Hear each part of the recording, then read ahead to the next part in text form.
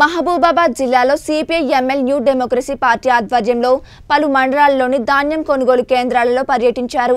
Sriramagiri Munagalaveedu Nellikuduru Ramannagudem PACS IKP వరి కొనుగోలు కేంద్రాలతో పాటు తొర్రూరు వ్యవసాయ మార్కెట్ను సిపిఐ ఎంఎల్ న్యూ డెమోక్రసీ అఖిల భారత రైతు కూలీ సంఘం జిల్లా కమిటీల బృందం సభ్యులు సందర్శించారు. ఈ సెంటర్లలో దాదాపు ఇరవై రోజులుగా రైతులు ధాన్యం రాసులు పోసుకుని పడిగాపులు పడుతున్నారు.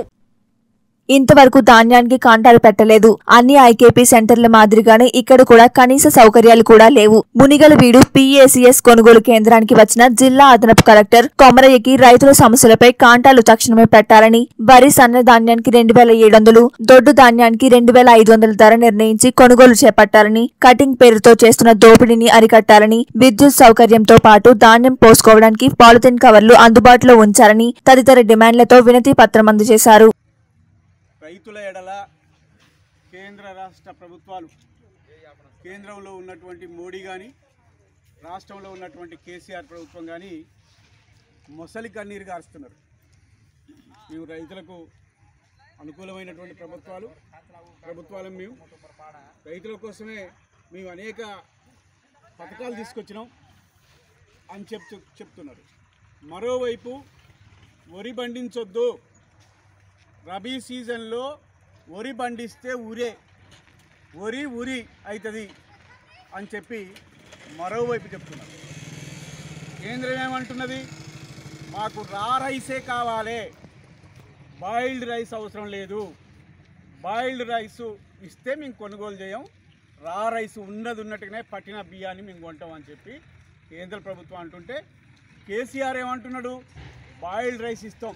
మా రైస్ను మొత్తం కూడా ఒక గింజ లేకుండా కొనాలని చెప్పి కేసీఆర్ చెప్తున్నాడు. దాంట్లో ఉన్నటువంటి మతలబ్ ఏంటి? మన రైతులు ఏమనుకుంటున్నాం? నిజంగానే కేసీఆర్ మనకు అనుకూలంగా ఉంటాడు. ప్రతి గింజ కేంద్రం కొనాలని చెప్పి పట్టుబడతాడని చెప్పి మనం అనుకుంటున్నాం. రా రైస్ అయితే క్వింటాకు అరవై ఐదు కిలోలు వస్తుంది. బాయిల్డ్ రైస్ అయితే క్వింటాకు డెబ్బై ఐదు నుంచి ఎనభై కిలోల వరకు బాయిల్డ్ రైస్ వస్తుంది. మరి ఖరీదు రా రైస్కి పెట్టేటువంటి ఖరీదే వాడు కేంద్రం కూడా పెడుతున్నామని చెప్తున్నాడు. టెన్ పర్సెంట్ అదనంగా బాయిల్డ్ రైస్కి వస్తుంది కాబట్టి ఇరవై ఐదు వేల క్వింటాలకు పైచిలకు ఈ టన్నులకు పైచిలకు మెట్రిక్ టన్నులకు పైచిలకు అదనంగా రావడం వల్ల పన్నెండు వేల కోట్ల రూపాయలు అదనపు భారం పడుతుంది కాబట్టి మాకు రా రైస్ రేట్నే మేము కట్టిస్తాం. మేము పన్నెండు వేల కోట్ల రూపాయలు మేము అదనంగా కట్టియమని చెప్పి వాడు మతలబు పెడుతున్నాడు. ఆఖరికి చెప్పేది ఏంటి? ఇద్దరు కలిసి మీరు రబీ సీజన్లో వరి బండిస్తే మేము కొనం ఎందుకంటే నూక ఎక్కువ అవుతుంది కాబట్టి మేము కొనుగోలు చేయం. రైసు నిల్వలు బాగా ఉన్నాయని చెప్పి కపట క- నాటకం ఆడుతున్నాడు. వీని మీద వాడు వాని మీద వీడు. మనం మనల్ని మోసపుచ్చి మమ్మల్ని మభ్యపెట్టి రైతులను అయోమయానికి గురి చేసి భయాందోళనకు గురి చేసేటువంటి ఒక రాజకీయ నాటకాన్ని మనం రోజు పేపర్లలో చూస్తున్నటువంటి స్థితి అయితే మనం చూస్తున్నాం. బేషరతుగా కొనాలి. ఇలా ప్రాజెక్టుల నిండా నీళ్ళున్నాయి. మన చెరువుల నిండా నీళ్ళుంటాయి. ప్రాజెక్టుల నుంచి వచ్చేటువంటి శ్రీరామ్ సాగర్ వాటర్ తోటి మన చెరువులన్నీ నింపుతారు. మరి ఇలా ప్రత్యామ్నాయ పంటలు పండించాలి? వరి పండించొద్దు అని చెప్పి పాడవ పొలాలల్లో ఏ ప్రత్యామ్నాయ పంటలు పండిస్తాం? ఇక్కడ ఉన్నటువంటి రైతులు ఆలోచించుకోవాల్సినటువంటి అవసరం ఉన్నది. ఏమైనా పునాస పంటలు పండియగలుగుతామా? నువ్వులు పండించామా?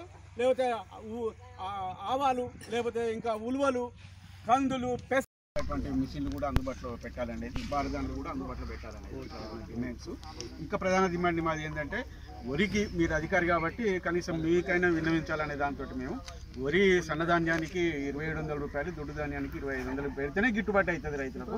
లేకపోతే గిట్టుబాటు కాని పరిస్థితి అయితే ఏర్పడుతుంది. దాన్ని కూడా మీరు పరిగణలోకి తీసుకుంటే మంచిది. గవర్నమెంట్ రాష్ట్రం ఓకే మేము ఇక్కడ విద్యుత్ సౌకర్యం కూడా లేదు సార్ ఇంత పెద్ద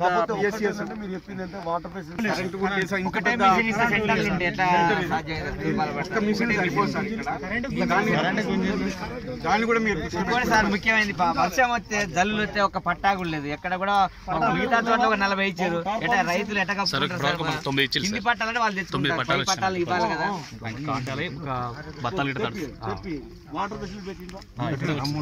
నేను వచ్చినప్పుడు నేనే వచ్చి వాటర్ రిటర్న్